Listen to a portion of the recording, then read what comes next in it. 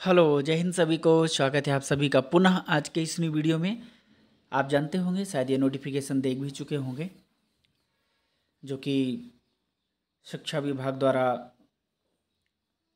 बिहार राज्य से नोटिफिकेशन निकला हुआ है, ये प्रेस नोट है, जो कि अभी तक ये समस्या थी कि जो भी वहाँ वैकेंसी निकली थी एजुकेशन में, शिक्षा विभाग में शिक्षकों के लिए, उसमें ऐसा था कि केवल बिहार राज्य का निवासी होना चाहिए, लेकिन अब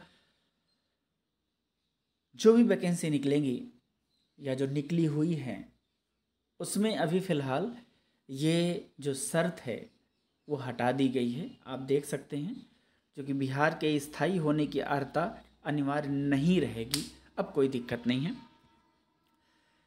ये जो कि कैबिनेट की बैठक हुई थी, बिहार राज्य अध्यापक नियुक्ति जो सिस्टम था जो भी नियमावली थी, अनुशासनात्मक कार्यवाही या कुछ भी जो भी सिस्टम था, अब संशोधन को मंजूरी दी गई है कि अब जो अनिवार्यता है, वो पूरी तरीके से ख़त्म हो जाएगी।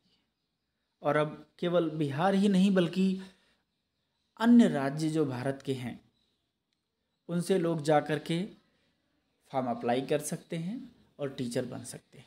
ये बेहतर है, क्योंकि अभी तक एकदम स्ट्रिक्ट थे, एकदम बाउंडेशन था अब मिल पाना ही, क्योंकि बेरोज़गारी की स्थिति बहुत ख़तरनाक है, और अगर किसी को भी रोज़गार मिलता है किसी अन्य प्रदेश में भी तो भी बहुत अच्छी बात है। और इसमें कहीं ना कहीं आप जानते हैं कि राजनीतिक दांव पेंच तो हर सिस्टम में रहता है। ये भी बहुत कुछ ना कुछ सोच समझ करके ही किया गया होगा।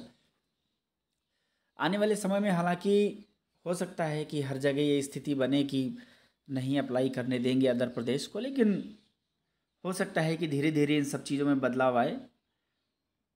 अब देखिए क्या होता है। बहुत सारी जगहों पर तो वैकेंसी ही नहीं निकल रही है और निकल रही हैं तो ऊँट के मुँह में जीरा जैसे होता है, ज़रूरत तो उसके हिसाब से निकलते हैं। फ़िलहाल ये खुशखबरी है, बढ़िया है, आप लोग अप्लाई कर सकते हैं। थैंक यू सो मच मिलते हैं नेक्स्ट वीडियो में, तब तक के लिए जय हिंद, वंदे मातरम।